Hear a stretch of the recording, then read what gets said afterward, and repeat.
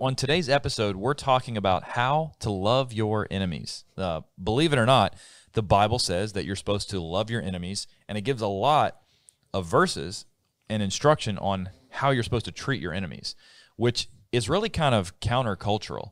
Um, you know, I've got my Apologetics Press study Bible right here. Got to plug it. Got to plug it. It's got great stuff. It's the only study Bible I recommend. Um, but let me just read this to you, okay?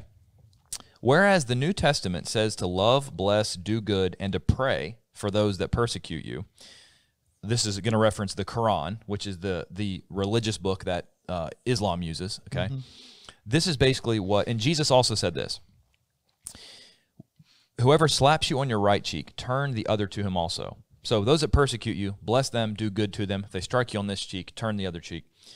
And to love your enemies, the Quran says, one who attacks you, attack him in the like manner as he attacked you. Surah 2, 194. Um, so there's a difference between Christianity and other world religions, right? Yeah. Um, that's one of the primary ones, and that is how do you respond to somebody that attacks you? How do you respond to somebody that persecutes you?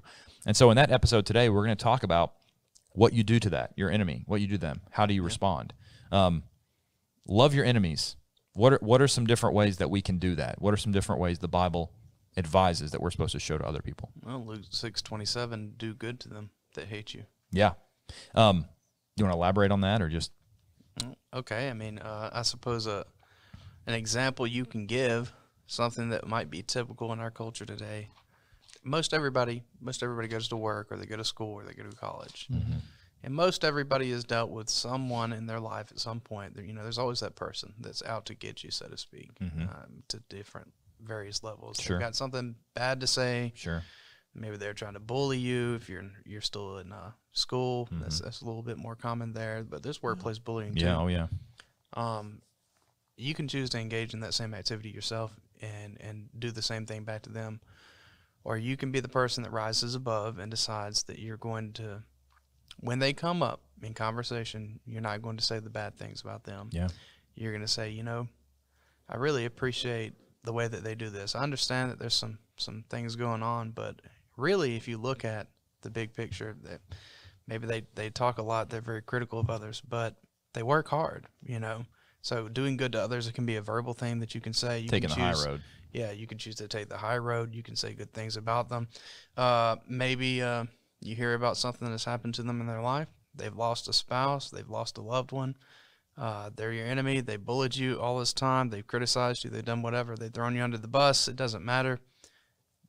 You go and be there for them. Yeah. I mean, maybe you don't have the relationship where you can go to the, the funeral or the event or whatever it may be, but uh, you can certainly write a card, be sincere, be kind, be polite, leave the condolences basket, do something for them. Uh, maybe they lost their job. Eh, Continue with that same thing. Um, if you know good and well, they're going to be out on the street. If they don't get help, help them out. Yeah, you know, you basically brought up the idea of you're supposed to treat others and the golden rule, treat others as you want to be treated. Yeah. And you made the distinction between somebody's mean to you, what's the normal response? Be mean right back yeah, to them. You know, if somebody's out to get you, throws you under the bus, Mm-hmm. you're just gonna wait, right? That's, like what you just read from the, the yeah, Quran there, yeah, right? that's yeah. that's the idea. It's. Hey, if someone does this to you, you do the same thing back. They persecute you, you do the same thing back to them. Whereas, you know, when Jesus talked about loving your enemies, Jesus basically said you do good to those that persecute you, and then he said that's the way you're going to show the distinction. That's the way that people are going to see that you're different because the people being good to the people that love you, that's what everybody does. You know, everyone, even people who are you'd say, you know, evil people, they love the people that love them. Yeah, I got a good verse that'll tie into what both of y'all are saying. You go to Romans 12, 17. Repay no one evil for evil. Have regard for good things in the sight of all men, if it is possible. If it is possible, that's a good thing. As much as it depends on you, live peaceably with all men. Beloved, do not avenge yourselves, but rather give place to wrath, for it is written, Vengeance is mine, I will repay, says the Lord. So, man, when it, it gets hard, Yeah. like at least we can know that God, I mean, he, He's going to take care of it in His own way. Is we just do our part in loving back to our enemies, even when they're spitting on you or hating you Yeah. and slamming your name in the ground. The best thing we can do is like respond the way Jesus would. Romans twelve twenty, the next verse. Therefore, it's a quotation from Proverbs 20, 25. Uh, verses 21 and 22. That's cool. So there you go, some more wisdom. it says, Therefore, if your enemy is hungry, feed him. For if he's thirsty, give him a drink. In doing so, you'll heap coals of fire on his head. Now, I'm not really saying you shouldn't focus on the last part. I'm Yeah. saying you should focus on the first part. But the, but the Bible basically says, look, when you're doing good for somebody that's evil, in the end, they're going to be held accountable for their actions. That doesn't mean that it should change your actions as a Christian.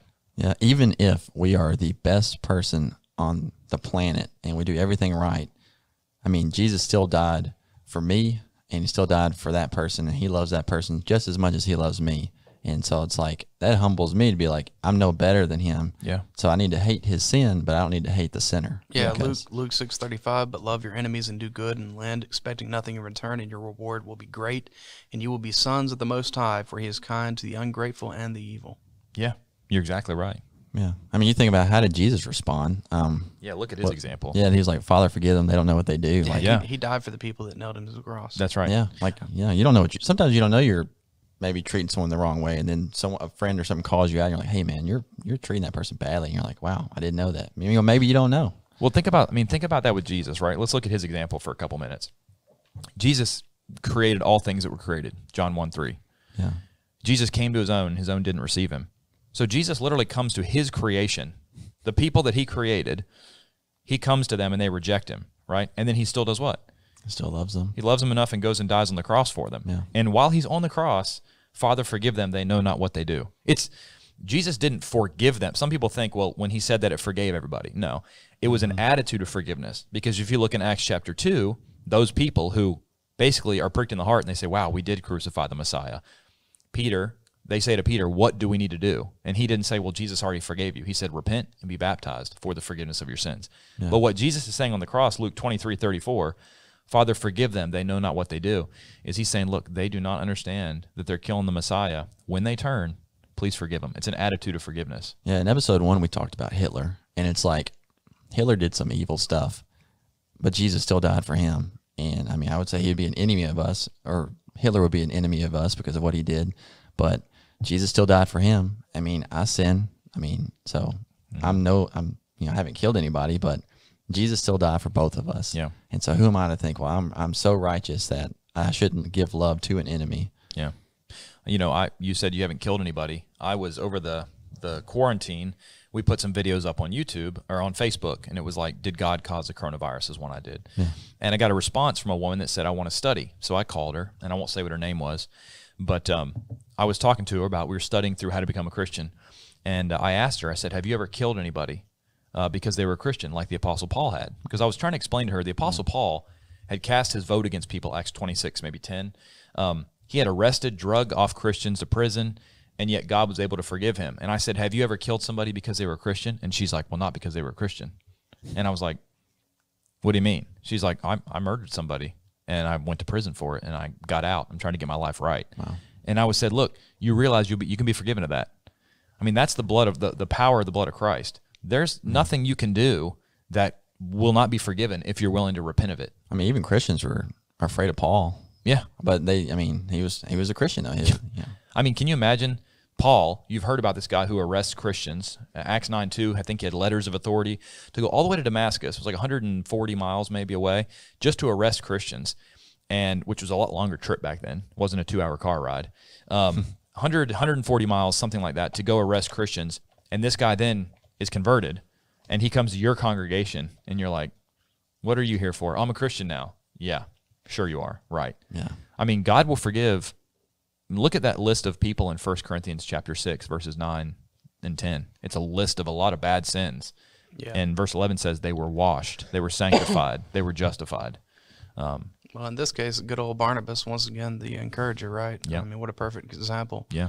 Uh, he went and took Paul. Yeah. He brought him. Brought him to the people because they're likely saying, Yeah, we heard of this Paul guy. Literally their enemy, right? Yeah. But he brought them. He he embodied this. Yeah. Yeah. And you look to it, if we're supposed to basically imitate uh, imitate Chr- uh, Christ, right? You've got the first Christian martyr, Stephen, in Acts chapter 7. What did he say? He basically said, whenever he's being stoned, he said, don't count this sin against, Against them. me, yeah. Just like Jesus, you know? Well, it makes me think about Proverbs 16. Mm-hmm.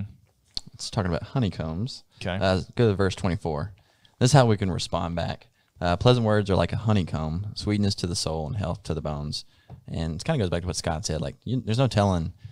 Maybe this enemy has had an awful life, and all he this person knows is that you know how to respond. And so maybe we could be the only Jesus I've heard people say the only Jesus that person ever sees, and maybe that changes him. You know, maybe our words help that person and whatever they're going in their life to become a good guy. Well, it, it just it sets you apart from others. You know, if they're mean to everybody and you're nice to them, they're gonna be like, "What's wrong with this guy?" You know, like why is he nice to me? I'm mean to everybody, and everyone's mean to me except for this person. I mean, so that that can sort of open up a door. What about? Um, I mean, there's so many Bible verses that talk about what did Jesus say in the Sermon on the Mount about praying for your enemies? Tell me about it. Well, he said, I mean, he basically said, You've heard that it said, You shall love your neighbor, hate your enemy. I say to you, love your enemies. Matthew five forty four. now. Bless those who cur- uh, curse you, do good to those who hate for you, and pray for those who spitefully use you and persecute you, that you may be. And if you do all these things, here's, here's the result that you may be the sons of your Father in heaven. For he makes the sun rise on the evil and the good, sends rain on the just and the unjust. So he basically says, Look, God does good to those who are love him and who hate him, you should do the same thing. Mm-hmm. I mean, similar to earlier. Yeah. how hard is it to pray for somebody that is an enemy of yours? Yeah, it really depends. And you think about it, I mean, it, it it's it's difficult to pray for somebody that's trying to hurt you. Yeah. But uh, you know, your Yeah. enemies can also be those who are trying to hurt your friends and your family. Yeah, I um, I got a story about my wife. Uh, so we used to live in Raleigh, North Carolina, and she used to work for one of the TV stations there. And so I would go with her when she had like to film stuff, you know, just you know, pretty girl on the street with a camera and a camera guy. People mess with her, so I would go with her, and she was filming this spot out in front of this building, and she wasn't bothering anybody. She was on public space, and this guy came out of his front yard and started like screaming at her about, you know, don't mess up my flower bed. We weren't even near his garden. He's like, don't get on my flower bed. You're gonna ruin those flowers. And I'm like, what's he talking about? Well, of course he's yelling at my wife. So Yeah. what's my immediate reaction? Oh man, I got, I got hot. I was mad. And so, you know, I was just like, sir, we're not touching your flowers. We're not going to touch your flower bed. Everything's fine. Well, my wife, like, I don't, I mean, I don't remember if she was about to cry or not, but we get back to the car and I was still mad. I was so mad, like, you know, I should have said this to that guy. I should have said this. And my wife is like, can we pray for him? Oh man. Don't we love like each of our our wives just to point us back? Like I remember the same thing, kind of like one one story with my wife Megan. She was just like we went through something, and then she's like, "Well, you never know what they're going through in your life." And you're like, "Man, like it humbles you," and you're like, Yeah. you, you really never know." It points back to the shoes you were talking about. Someone could be facing something really hard, but Yeah, when she said that, I was like, it was like a like a wake up call because here I am, you know, this guy who thinks he's, you know, fairly spiritual, and I'm angry at this guy, and my wife is like the embodiment of it. She's like, "Hey, can we pray for him?" I'm like, I'm like, what? Can we? Well, I guess that's what we're supposed to do, right? Yeah. But I remember that was. I've had times in my life where she's been like, "Hey, let's pray for that person." There have been times. I remember one time specifically. I was on I forty. I know exactly. I was right before the Wade Avenue exit. I knew exactly where I was, and she was like, "We should pray for that person," and I was like, "I don't want to," Yeah. because I was so angry. And she's like, "No, we need to pray for him." Like, those are the things that that's living it, you know. And so, pray for your enemies. That's what it looks like in real life. Even if there was the times where I was like, "Ah, "Man, I don't feel like it." My wife's like, "No, we need to do it." And she was the one who actually was. He was mean to her, not mean to me. yeah, you're trying to stand up for her. Yeah. yeah. And she was like, let's pray for him. I remember thinking like, wow, I'll never forget that. They'll stick with me forever. Yeah. Yeah. I think sometimes there's moments where like maybe it's a stranger, you know, like that guy, and then maybe you know that's that's hard. And then there's times where you, if you know someone and you're personal with it, and then like you know hard times come about, it's it is hard. You're like, man, I don't I don't want to pray for that that Yeah. person. I don't want to love them or bless them.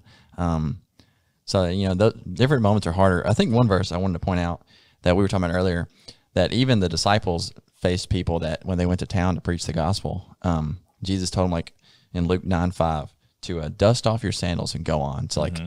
There's an appropriate time to deal with some stuff, and then you know, then dust your sandals off. Yeah. figuratively for us, unless you're wearing sandals, and then Yeah. you know, go on. You know, just leave it, go on. Yeah. Well, I mean, you basically said earlier too. You ba- as, as much as is possible live at peace with all men. Yeah. There's going to come times where you have enemies that you try to be nice to, and they don't want any part of it. And you have to use your judgment. It's a judgment call as to when to say, okay, I'm going to dust off my sandals. I'm going to move on, because you spend too much time focusing on this one person. You know, I mean, if you try to teach this person or, or start a relationship with somebody four or five times and they reject it every time, you have to at some point use your judgment and say, is it better for me to keep working on this person or how much more work could I be could be done if I move on and, and dust off my sandals and go to somebody else? Yeah. All right. So you guys might know this verse, and Scott, you might could look it up for me. Um, what is the verse? It's talking about when you share the gospel, because like you're going to get enemies, and that it might even divide up your family. Yeah. Like I mean, or your friends. You know, it'll be times where when you share the gospel, you're going to face some tough times, and that's okay because, I mean, you're doing the right thing, even though it might cause some division. Yeah. You know, you love that person. You you stick with Jesus. There's a couple different ones like that. The one I've got is Luke chapter 12, um, where he basically says, "Do you suppose I came to get?" This is Luke 12:51 is where one of them starts. Do you suppose that I came um, to give an- another one? If you want to look it up, is Matthew 10, 34 through 36. I'll get that one. Um, Do you suppose I came to bring peace on the earth? I tell you, not at all, but rather division. From now on, five in one house will be divided three against two, two against three. Father will be divided against son, and son against father. Mother against daughter, daughter against mother. Mother in law against daughter in law. Daughter in law against her mother in law. So basically, what he's saying is look, like the gospel is going to divide people. There are going to be enemies in your own household. Yeah, I mean, Yeah. that's, yeah. Um, And yeah, we gotta, yeah, Yeah. And it- well, this verse in First John four twenty really, I think, uh, is written to the church and members of the church. But uh, the principle of it, you can apply um, outside of that. And it says, "If a man say, I love God and hateth his brother, he's a liar. Yeah. For he that loveth not his brother whom he hath seen, how can he love God whom he have not seen?" yeah. And so I guess the principle of it is uh, even if even if people are doing you wrong, you're still required to love them. And it says that if you don't learn to do that, Yeah. that that really, how can you claim that you love God who who you've not seen? Well, that's what I mean, uh, That's what Matthew 25. Matthew 25, starting in verse 31, you have a judgment scene.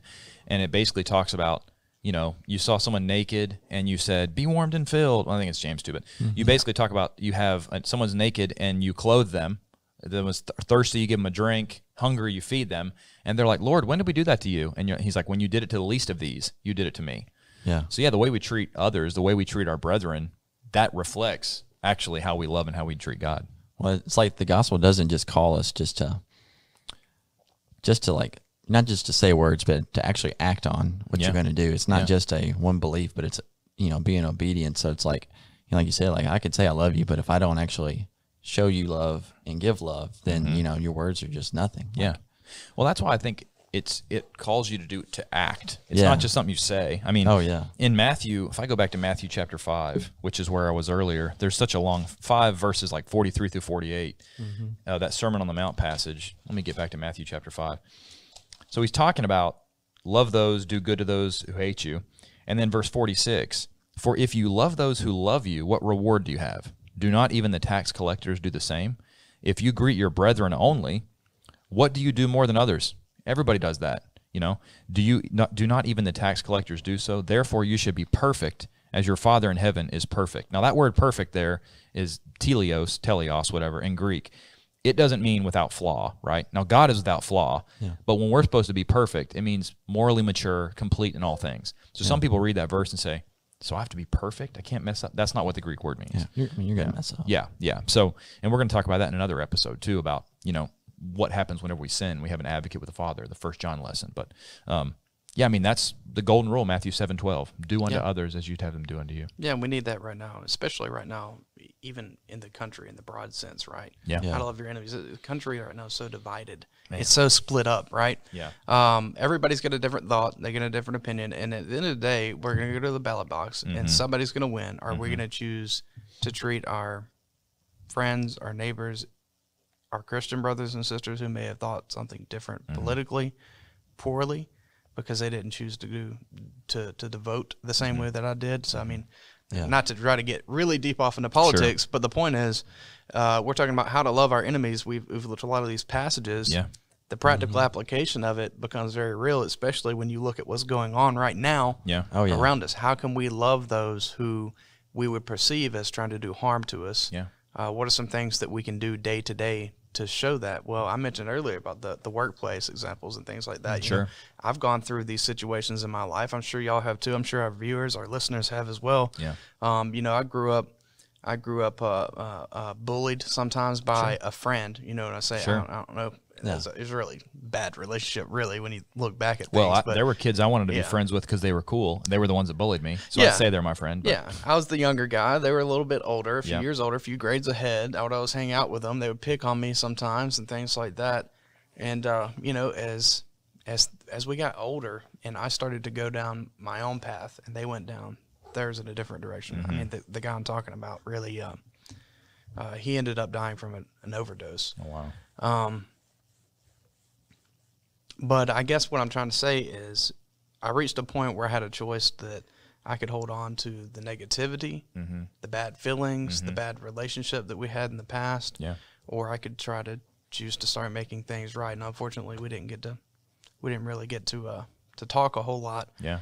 But um, I did my best to try to visit, uh, maybe with his father some when he was when he was still around. And I guess I don't know. Uh, I'm not. I don't know if I can talk about a lot of this. I don't know if all right, I man. should. But the but the point is this. I guess think about the the people around you. Think about what's been going on, and and be the bigger person, like we talked about earlier Yeah.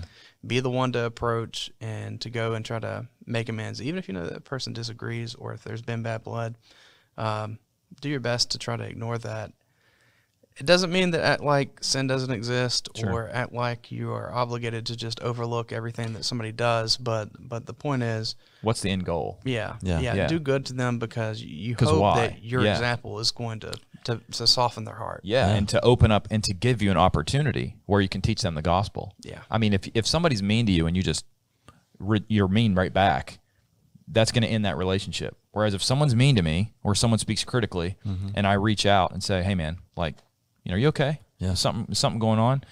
Now they may not respond in that moment, but maybe later you're able to have a conversation with them about something much more important. Yeah. You know? I mean, what if what if your actions could change somebody? Um, it reminds me of what we talked about in a previous episode of like they will know us by our love for people. Mm-hmm. And like, you know, I don't know, I always think about this. My mom always says, if you need me, I'm here for you, even at 3 a.m. And I always Mm-hmm. think of that phrase, even at 3 a.m. And like, you know, people will know us. Like, and I think it's so good that you brought up the culture because, you know, we're still relevant and, you know, there's some crazy stuff going on in our culture right now. Mm-hmm. And so it's so important to us to, to remind ourselves, and we're, we're not perfect, but to try to be known by our love and not for just uh, everything that we're against and what we the bad things and everything, but you know, Yeah. to, to be known for love and truth and point back to here and Yeah. we got your back if you need us. Hey guys, thanks for listening to the Authentic Christian Podcast. This podcast has been sponsored by GBN, Gospel Broadcasting Network. You can download the app and start streaming every show, watch every episode, and discover the answers to life's biggest questions today.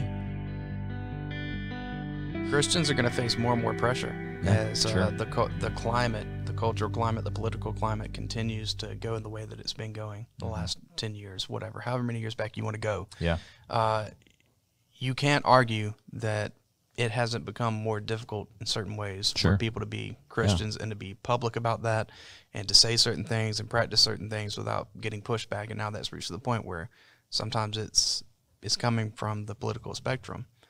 Um, we've got a choice to make right now in our attitude about how we're going to treat those who are pushing against us. Whether we're going to we're going to get down in the ditches and fight and brawl that out the same way that they're going to do, or if we're going to have that attitude of grace and Mm-hmm. Well, you're going to lose if you do that. Yeah, You know, we as Christians, you can't you can't win the battle can't sling mud. No, because the other side. Because if you if you the if you're trying to be a Christian and someone else has a different op- opinion and they sling mud and you try to sling mud back Yeah, and get- they don't have Christian morals behind it, you're going to lose. Yeah. You know, I mean, it's like if you're trying to fight with a guy that's going to fight dirty because he doesn't think there's anything wrong with it.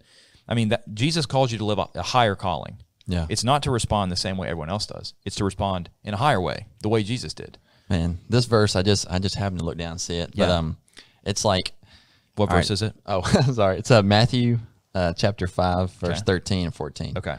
Actually, let's just go to 14. But I was going to say, like, you know, you know, as Christians, we are not perfect. And we choose to, like, every day wake up and say, I'm going to do my best. I'm going to mess up, but, you know, I'm going to keep on walking in the light, which Yeah. we're going to talk about later. And Jesus has got me. And for what reason? It's like, so with all that, that everyday struggle, you lean into this verse. Like, we'll just go to 514 in Matthew. You are the light of the world. A city that is set on a hill cannot be hidden. And then we'll just go on. Nor do they light a lamp and put it under a basket, but on a lampstand, and it gives light to all who are in the house. Let your light, light shine, verse 16, before men, that they may see your good works and glorify your Father in heaven. So it's not saying we're perfect and we're going to be this light. It's like, I'm your brother and I'm your sister, and we're going to do the best we can, and we're going to stick together through the hard times and love each other. Yeah. To be Yeah. that light. Man, supposed to be a beacon. You mentioned verse 13. I think that was appropriate too. Salt of the earth. Yeah. If we lose that savor, what good are we? We're going to be useless. Yeah. Yeah. I mean that that goes against the whole point of why we're why we're here as the church, which is what to make known the what. You know, can you finish the verse? Sorry, the say again. The purpose of the church to Manifold make known wisdom. the manifold wisdom Yeah. of God. Right. Mm-hmm. We're going to do that partly by the way that we act and treat other people. Yeah.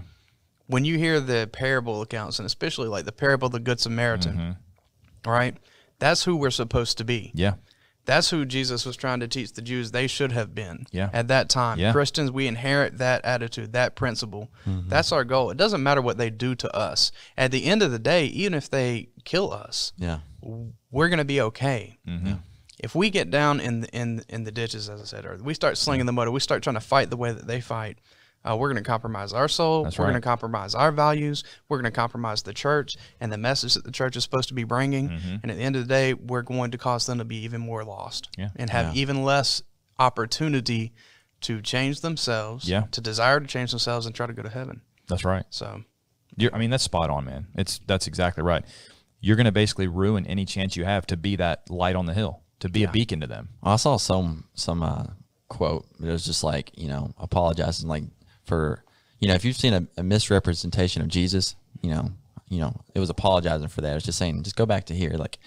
And to add on to what you were saying, Scott, like you know what the scripture says, like we've never seen Jesus, but you know we have faith in Him, and we're doing this for Jesus. And like there's some days you're like, man, this is really hard. Yeah. Like I got to love that enemy, or you got to, you know, stand up for the good thing here or there, especially in, in our culture now. Like, Yeah. It's really hard to be open about everything, but we're doing it because we love Jesus. yeah, he didn't ask us to change the world by force. He asked us to change right. the world by example. Yeah. Luke 22. Should we draw the sword, Lord? No. Yeah. My kingdom's not of this world, John 1836. There's a different way to spread Christianity. So you guys are exactly right. We can't be like Jonah in the minor prophets where God saves the people of Nineveh and he's upset angry. about it. Yeah. No. we need to be held to a different uh, a different standard. And whenever you wonder what that standard is, you get frustrated, read your New Testament. See the way Jesus handled it. When you look at what Jesus encountered and you think about what you're going through, you're going to say, wow, Jesus had it way worse than I did. So, everybody, thank you so much for tuning in to this episode of the Authentic Christian Podcast. Hopefully, it will help you in dealing with loving your enemies. And we hope that you'll be back with us next episode.